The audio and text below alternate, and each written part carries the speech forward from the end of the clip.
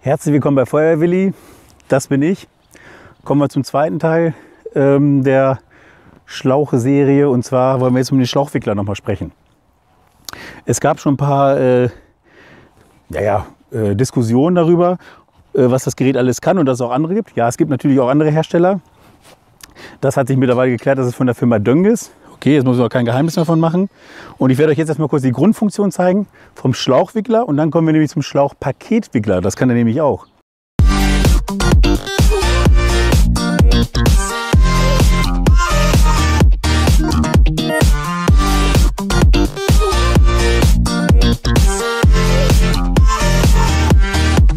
Ich hatte schon mal einen Film reingestellt über einen Schlauchwickler von der Firma Dönges ist dieser. Und wir hatten da mit den Kommentaren, dafür auch nochmal schönen Dank an alle Beteiligten, äh, Vor- und Nachteile der verschiedenen Schlauchwickler besprochen. Es gibt auch andere Schlauchwickler von anderen Firmen, die auch, äh, glaube ich, etwas kostspieliger sind. Und was ich halt auch nicht verstehe, weil das Ding kann ein bisschen mehr und da waren noch viele überrascht bei den Kommentaren, als ich sagte, was der noch kann. Das habe ich ja letztes Mal gar nicht deutlich rübergebracht. Der kann nicht nur Schläuche wickeln, der kann auch Schlauchpakete wickeln. Schlauchpakete, ihr wisst vielleicht hier, ich habe extra das Hohlstraurohr hingelegt und ein paar Klettbänder. Seht ihr gleich, was ich damit mache. Wir fangen erstmal kurz an mit dem Standard und zwar ganz normalen Schlauch aufwickeln. Jetzt nehme ich hier nur einen C-Schlauch, damit ihr seht, wie es funktioniert. Es geht auch mit nassen Schläuchen, haben wir beim letzten Dienst gesehen. Und es ist herrlich, wenn man B-Schläuche hat. Viele nasse, ich sag mal, alles so ab drei B-Schläuchen, würde ich sagen, ist es schön, wenn man das Ding rausnimmt und einfach aufwickelt. Äh, schont auf alle Fälle äh, die gute Stimmung. Ne? So, das heißt, ich nehme einfach mal den C-Schlauch, packe den einfach nur mal hier so rein, das war's schon. Diesen Kurbelgriff drauf. Und dann empfehle ich einfach einen Fuß drauf zu setzen. Wie gesagt, und dann, äh, ich kann das hier auch mal rausnehmen. Weil die brauchen wir später, die lege ich schon mal hier seitlich hin. Kann ich wunderbar meinen Fuß darauf stellen. Und jetzt kurbel ich los. Ihr seht, das Schöne ist auch bei dem, ihr müsst vorher eigentlich gar nicht alle Extremdrehungen, also die normalen Drehungen rausnehmen. Natürlich, wenn da irgendwelche Knicke oder Knoten drin sind, kann das Ding das auch nicht. Aber wir haben festgestellt, wenn man einfach hier ganz normal kurbelt, dass sich auch hier normale Drehungen einfach rausdrehen an dieser Führungsschiene da unten. Ne? So, ich kurbel das jetzt auf. Zack. Und seht euch das mal an. Und mit B-Schläuchen geht es genauso easy. Ne? Wir haben uns totgelacht. Beim letzten Dienst, äh, weil wir da auch nochmal die Mannschaft fragen wollten, brauchen wir das oder nicht? Ja. So.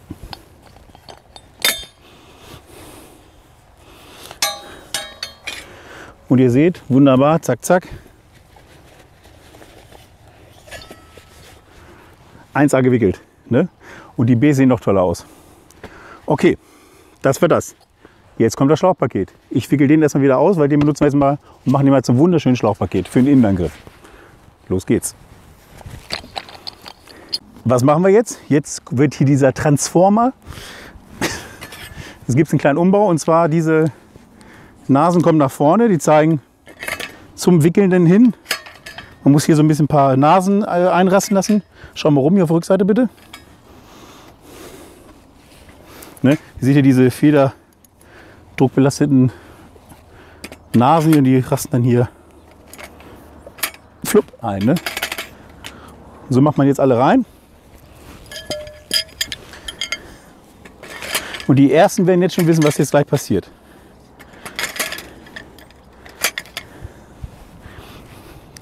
Das Schöne ist, ich bin ja auch so, äh, ja, ich sag mal, jetzt einfach gestrickt.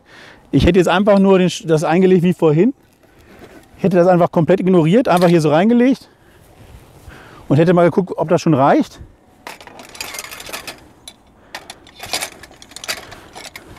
Fuß drauf und kurbel jetzt mal los. Da unten ist noch nicht drin. So. Und man sieht schon,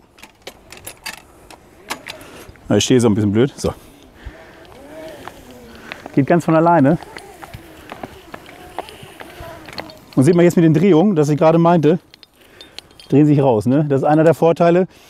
Es gibt andere Geräte, die, die fahren so über den Rasen, sammeln wunderbar den ganzen Dreck mit auf wie so ein Staubsauger. Hat man hier nicht, das wird gleich ein bisschen abgestreift. Ne?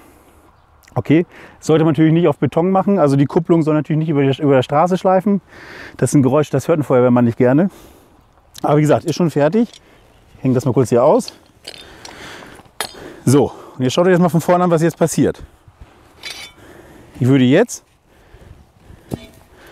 erstmal nur die Seiten rausnehmen. Einmal da, einmal da. Sieht das nicht geil, äh, gut aus? So, wie gesagt, die Schlauchpaket vorbereiten, das sind Arbeiten, die bereitet man sich im Gerätehaus, im Feuerwehrhaus, äh, bereitet man sich vor auf den Einsatz. Das macht man sozusagen in Ruhe. Äh, man hat dabei keine Eile. Und ich empfehle immer, jetzt habe ich eben einen C-Schlauch aufgewickelt. Normalerweise macht man das mit einem 30 Meter C-Schlauch oder zwei 15ern. Ne? Das ist auch 30 Meter, aber Nachteil ist ein bisschen, was wir jetzt hier wickeln. Wir haben eine Schlauchkupplungsverbindung in der Mitte. Das kann im Innenangriff schon mal hängen bleiben irgendwo. An der Kante, in der Türschwelle, ne, irgendwo in der Ecke. Hatten wir schon, ist sehr unangenehm, wenn das passiert im Einsatz. Ne? Passiert ist zum Glück nur ein Übungseinsatz. So, das heißt, ich habe jetzt zwei C-Schläuche ineinander gekuppelt. Ich würde das jetzt hier ganz normal wie vorhin auch einfach nur reinhängen und fleißig aufwickeln. Los geht's.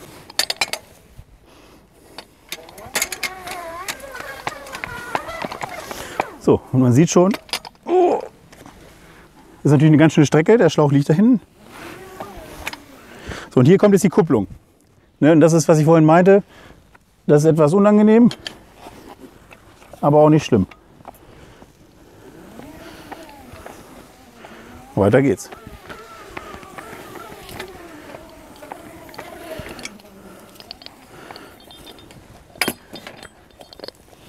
Jetzt gucke ich mal das schöne Schlauchpaket an. Perfekt.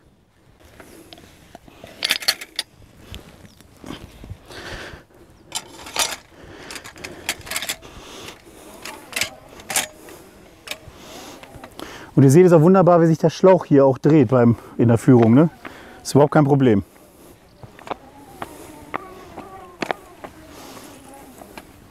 So, jetzt aufpassen, jetzt kommt die Kupplung. Weil ich sagte, das ist jetzt ein bisschen nachteilig, aber nicht schlimm. Ich nehme es kurz mal raus, drehe ein bisschen weiter, mach's wieder rein. Gucke, okay.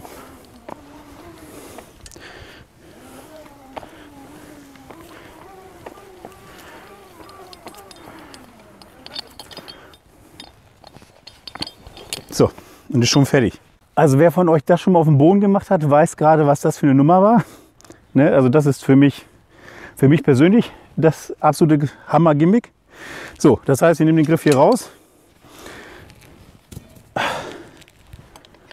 So, ich werde das jetzt mal mit dem Hochstrahlrohr einbinden.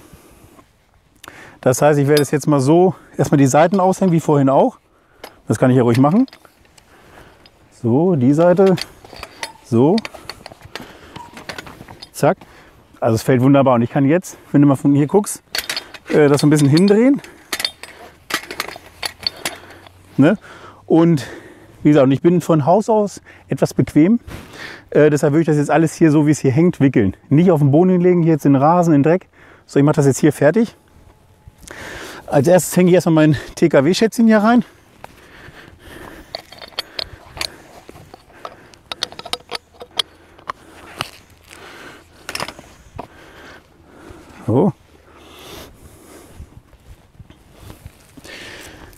Das sind extra, also man kann auch, glaube ich, ganz normale Klettbänder nehmen. Wir haben natürlich wieder die Augen vom Hersteller genommen, weil ähm, wenn man die zumacht und man gibt hier später Druck drauf, man setzt das ja so unter Druck, die Schlauchpaket im Einsatz, zeigen wir euch noch mal später in einem Film, ähm, dann springen die ab.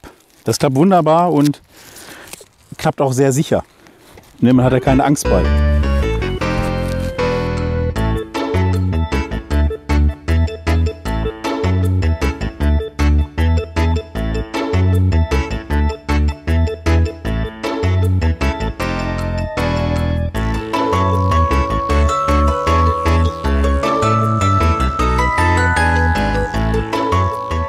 Einsatzfall hätten die AGTs das jetzt das Schlauchpaket so geschultert, können das Treppenhaus wunderbar hochgehen, das Schlauchpaket im Treppenhaus vor der Eingangstür an der Rauchgrenze ablegen, Druck drauf geben, der springt auf und die ganze Schlauchreserve liegt schön äh, in, in Ringen, ich sag mal, unter Druck, richtig sparsam liegen diese Ringe dann im Treppenhaus und nehmen kaum Platz weg.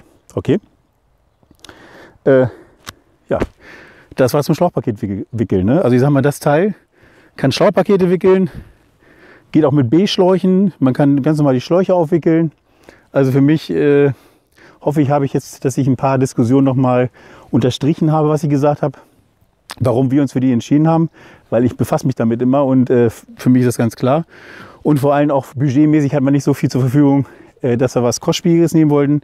Aber äh, ich habe auch kein anderes gefunden, was das kann. Von daher alles schön und ich finde es gut.